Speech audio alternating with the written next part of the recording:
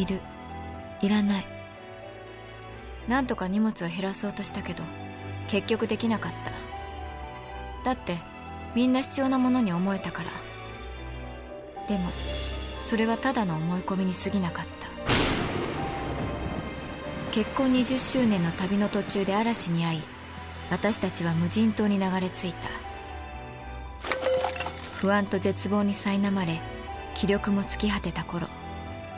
新たに若い男たちが漂着した。やがて彼らはここを東京島と名付けた。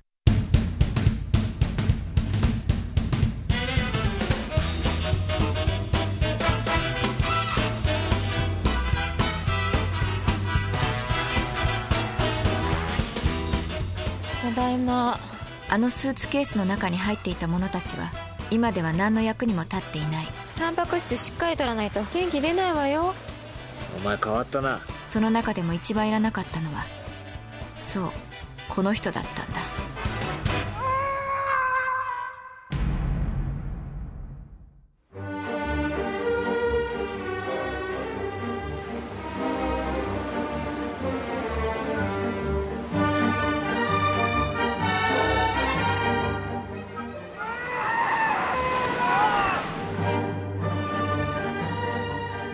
ひよこさん。これ俺が作ったの。あー綺麗。果物もたくさん取れたから好きなの持って行ってください。あー嬉しいわ。俺がちゃんと守ってやるからな。ひよこさんの夫をくじ引きで決めようと思うんです。くじ引き？ええできれば1年とか2年とか期間を決めて定期的にくじを。何よそれ。この島に来れてラッキーだったな。渡辺だけは絶対に参加させないでね。当たり前だ。お前みたいな豊島の娼婦こっちから願い下げだっつうの一斉に会を裏返してください。おおおおめでとう。ひよこさんの夫は GM に決定しました。大事なのはこの島でいかに生き抜くかなんだよ。外に脱出するばかりが生き抜くことじゃない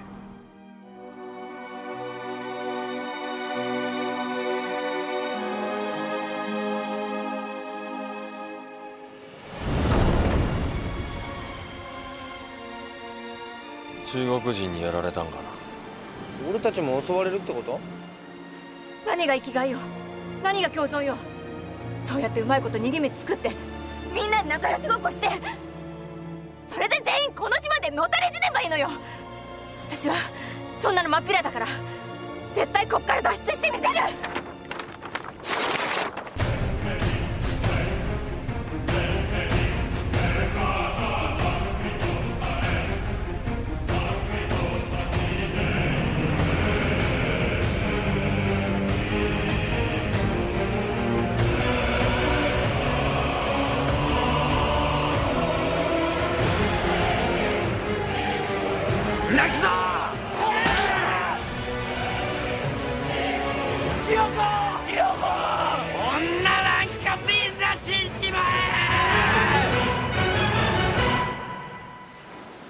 そこは人間の欲望を駆り立てる島。東京島。何がハッピーエンドかは自分で決めるわ。